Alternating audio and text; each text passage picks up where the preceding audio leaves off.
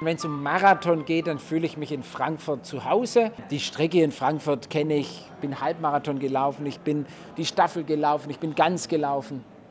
Einfach toll. Zwei Drittel der Vorbereitung ist rum, sag ich mal, roundabout. Der eine hat ein bisschen früher angefangen, der andere ein bisschen weniger lang. Die erste Frage ist immer, äh, was mache ich noch im Training? Habe ich zu viel trainiert? Habe ich vor allem habe ich zu wenig trainiert? Kann ich noch was aufholen?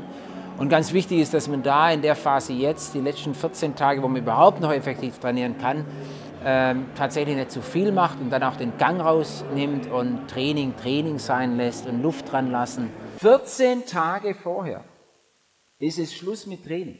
Egal wie viele lange Läufe ihr alle gemacht habt. Training kann man nicht aufholen.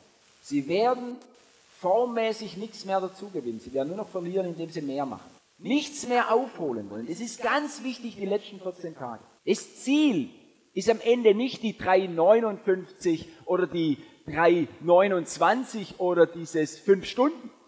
Nee, das Ziel ist eigentlich, sich diesen Wunsch zu erfüllen, ins Ziel zu kommen, anzukommen in dieser Festhalle. Das ist das, was euch treiben sollte, um es mal zu zeigen.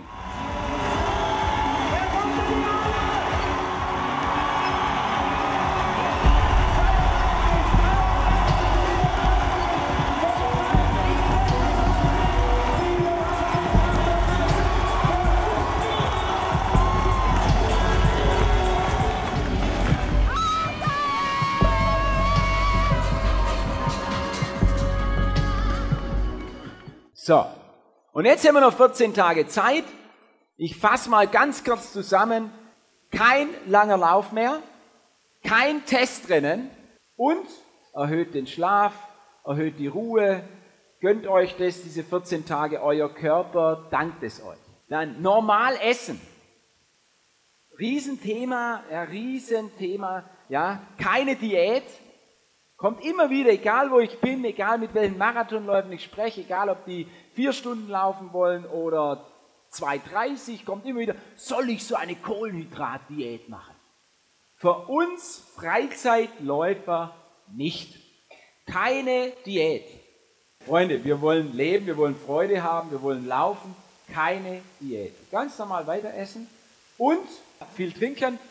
Ja, und dann auch, äh, klar, wenig Alkohol. So ein Event, so eine 42 Kilometer Herausforderung ist immer wieder eine Prüfung und da ist man nervös, das ist eigentlich klar, aber je lockerer man ist, äh, je entspannter, umso besser gelingt es. Und das wollte ich heute versuchen rüberzubringen, klar zu machen, in seine Stärke vertrauen und ich glaube, das ist mir heute ganz gut gelungen.